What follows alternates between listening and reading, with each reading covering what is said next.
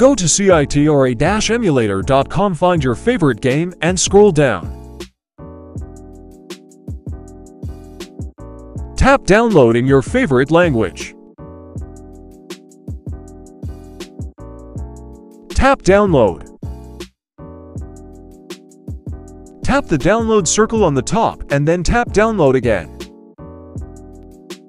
Swipe up. Go to the Files app. Tap Download. Tap the zip file and wait until is unzip.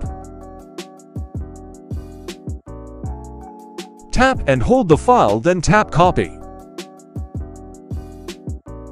Now go all the way back to on my iPhone. Tap Folium folder. Tap Cytrus. Tap ROMs. Tap hold and paste the file here. Go to the Folium app and scroll down to refresh the app. Enjoy!